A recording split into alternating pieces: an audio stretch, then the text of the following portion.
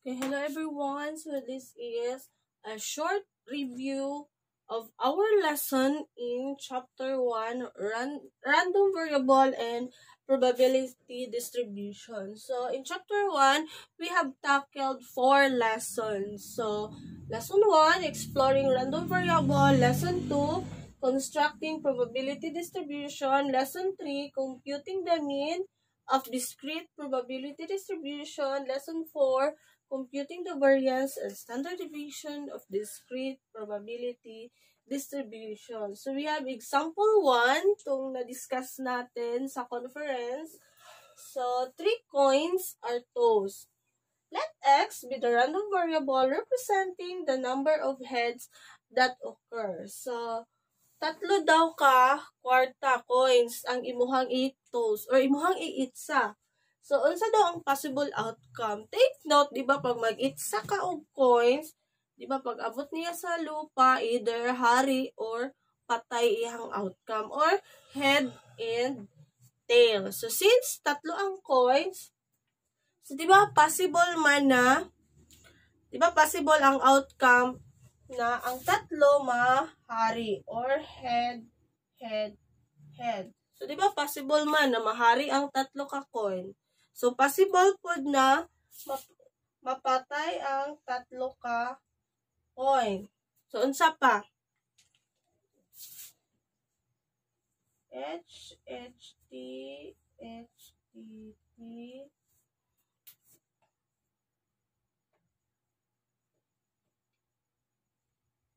HDH.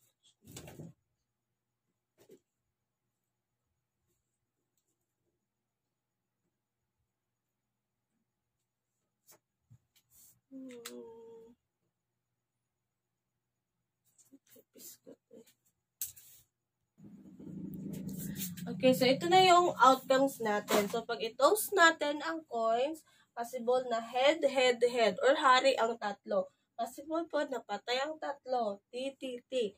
Possible po na duha ang hari, isa ang patay. And so on. So, ito na yung possible outcomes natin. So, we've come up to 8 possible outcomes. So, ito yung under sa lesson 1. Ito yung under sa lesson 1. Exploring random variable. So, next is, since ang random variable natin is number of heads. So, let x be the random variable representing the number of heads. So, from the possible outcome, para isa, kanang 8 ka buo, isa-isa ho nato na og ihap kung pila ang number of heads. So, there is a first. So, ihapon kung pila ang number of heads. So, since tatlo, so 3. Next, since walay heads, so 0. Next diri tatlo. Next diri ah, duha ra di duha. Next duha. Then diri duha gihapon. Next isa. Next duha isa.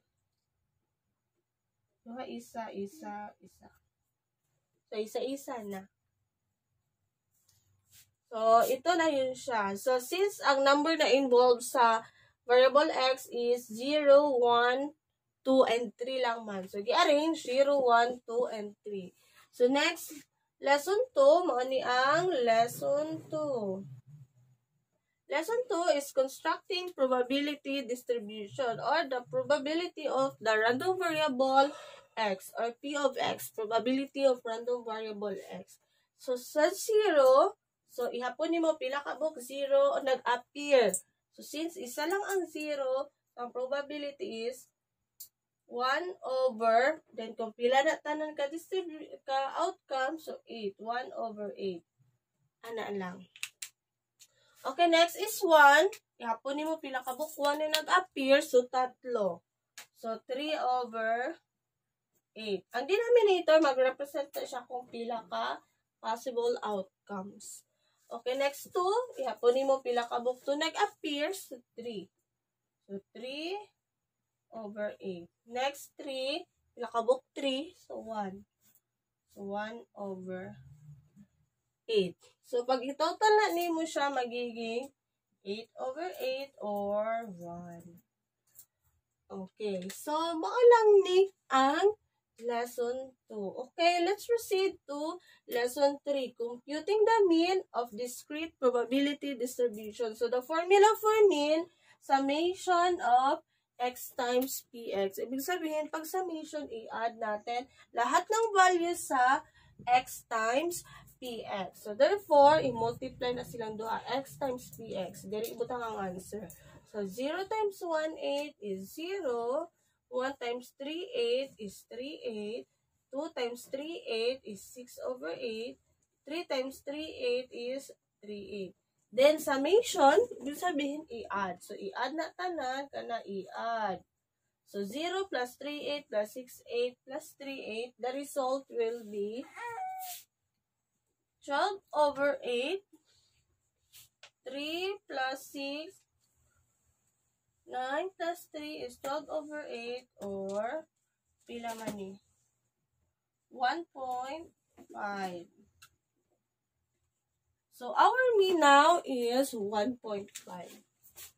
So, mo lang na ang lesson 3. Diba? Dali ang no. Mo lang na ang lesson 3. So, next, let's proceed to lesson 4.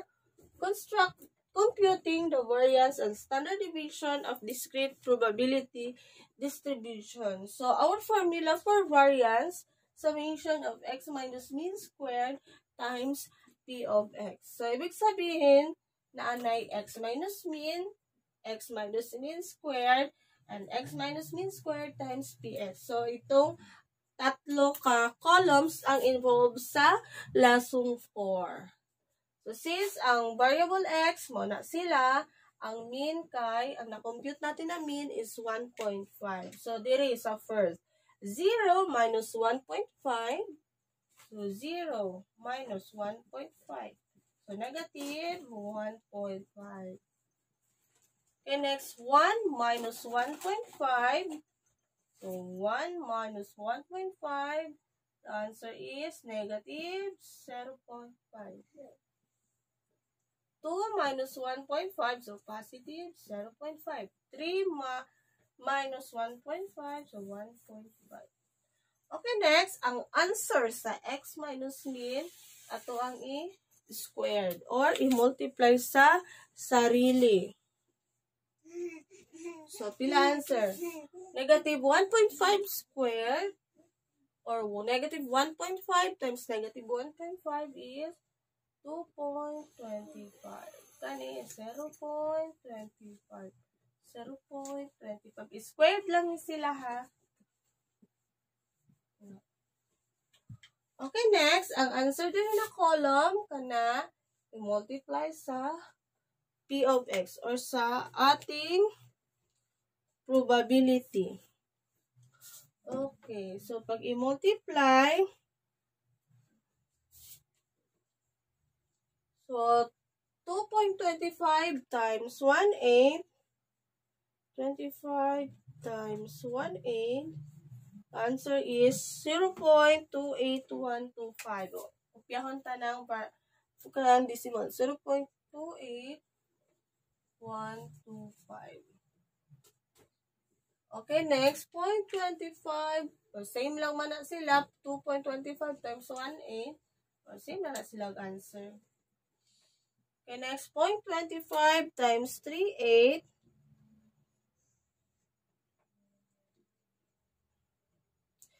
0.09375. Oh, same lang na sila. Then, pag i-add,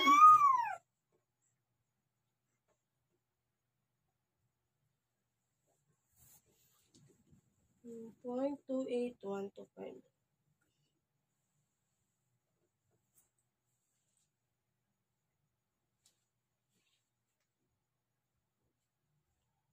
Answer will be 0.75.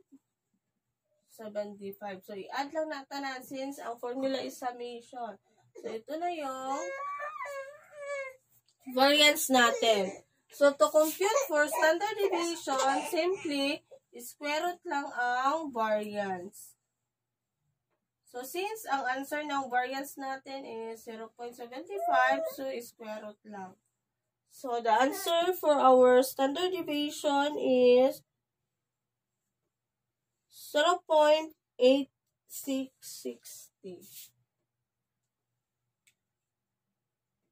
So, our standard deviation is 0.8660. Or, kung two decimal places, imong answer, 0.87. So, ana lang. De, then, ato siyang i- ato siyang i-illustrate ang iyahang histogram. Illustrate ang histogram.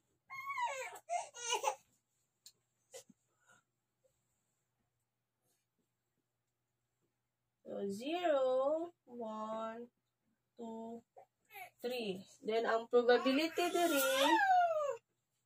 1, 8, 2, 8, 3, 8, 4, 8, and so on. So, ang probability sa 1 is 1, 8. Sa anilang iyang histogram. Next sa 2 is 3, 8. Ay, 0 di ay. Sa 0 tawag start. 0 is 1, 8. So, dira lang. 1 is 3, 8. So, dira. Next, 2, 3, 8 gihapon. Then, 3, 1, 8. So, ana lang ihang histogram. Okay, that's it.